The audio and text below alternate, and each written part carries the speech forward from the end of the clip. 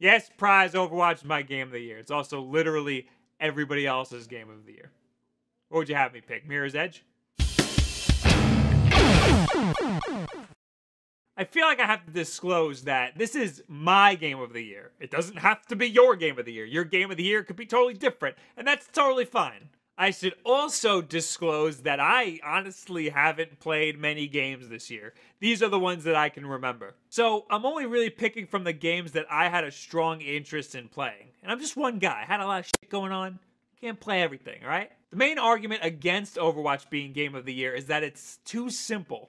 It's just a multiplayer only game with barely any game modes. There's only two real objectives capture the point or escort the payload. But here's the thing the game can be super complex. It's easy to learn in that it's simple on the surface level, but it's hard to master. I like to think that it's similar to Super Smash Bros. in that the core goals are really simple, but there's a million different characters that all play vastly differently.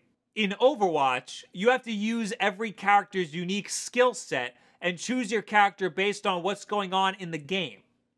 I find myself using Bastion if I'm moving a payload or defending certain maps. Otherwise, I'll stick to McCree or Hanzo depending on whether or not my team needs more attack or defense characters. And sometimes Tracer if I'm feeling particularly nimble. Do you understand how insanely hard it is to balance a game like this? How do you make sure that a character like Tracer even has a chance against a character like Roadhog? It's this fine tuning, this attention to detail that puts Overwatch in that number one spot for me.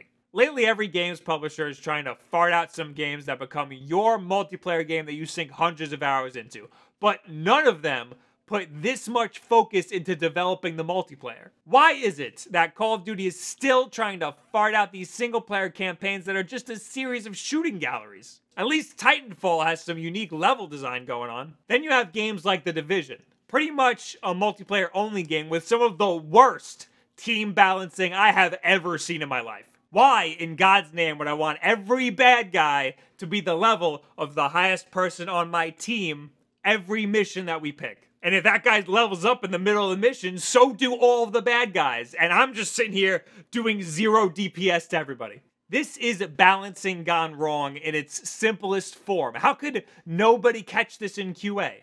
At least this is how it was when the game came out, because I just completely abandoned it after that. Overwatch is stripped of all of the garbage that bloats up a typical AAA shooter. I keep hearing about Call of Duty Zombies. I played it maybe once back in Black Ops, but that was it. I don't need that. Whatever time you put into that, why don't you put it into the single player so that my game doesn't drop connection and kick me off on the single player?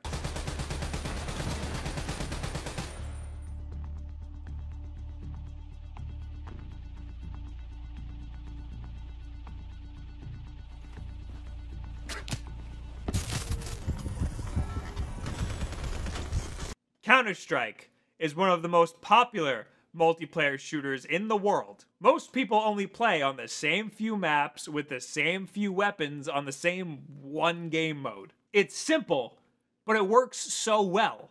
I'd argue that there's more to Overwatch. Not to mention the charm. The art direction is top notch. It's super good stuff. In fact, I have a whole video series on the art of video games, and the first two episodes are on character designs in Overwatch.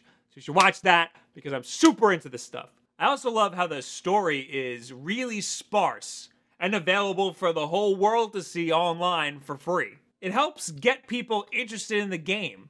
It's amazing what you can do with just a short 7 minute animated short. They're all so beautiful and emotional, like tiny little Pixar movies.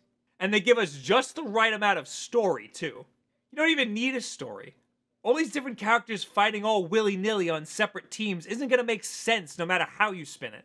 These shorts are just an added bonus. When it comes down to it, the only thing that matters are game mechanics and is the game fun? And the answer is obviously yes. It's the most fun when you play with friends. If you're just starting this game, start with Soldier 76 because he plays the most like a typical shooter. But please branch out to other characters you're eventually going to need some variety to help out your team. This is a team based game, and the whole team needs to be balanced accordingly. You don't get kills, you get eliminations, and assisted eliminations count as regular eliminations. So if you're one of those guys that runs around Call of Duty and gets assists every five seconds, you will just get eliminations in Overwatch. It'll just count for a whole elimination. This encourages team play and not to mention boosts your ego a lot. Everybody who plays Overwatch for the first time is always like, wow, I'm so good. I'm getting so many kills. No, you're not. It just feels like you're getting more kills than any other game because assists count. But, uh, you know, at least you're having fun. Overall, Blizzard did an amazing job redefining the team based shooter genre, taking very core ideas, redefining them over and over, and sticking to their guns. This game is a multiplayer shooter with beautiful animations. That's it. That's all you get. Take it or leave it. For me, it wins because it does one thing really, really good. Every character's different game mechanics control so well. They're all so good. And the game forces you to juggle between a few of them, varying the gameplay every time.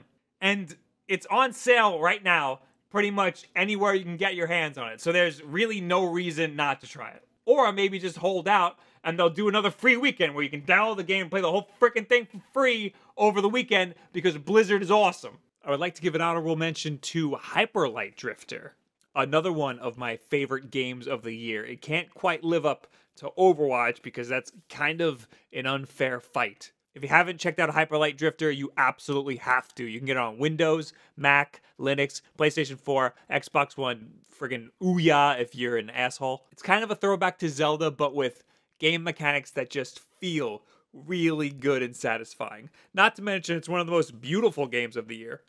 I just had to mention Hyperlight Drifter. So, what do you guys think about Overwatch being game of the year for me and game of the year for a lot of other people? Leave it in the comments below. I'm on Twitter, all the social media garbage. What is your game of the year? Maybe I should do disappointments because there were a lot, a lot of disappointments this year. Of course, new videos every single Tuesday, Wednesday, and Thursday. Wednesday nights is Wulff Den Live. Join us for the live podcast. We hang out with you, and it's fun every single time. And Mondays on the Shoddycast channel, there's the art. Don't forget about that. And the most important things that you can do is subscribe and share this with a friend who loves Overwatch, like me. And we can play together. How about that? And thank you guys very much. Hope you had a good holiday. Have a good new year. And always have a good week.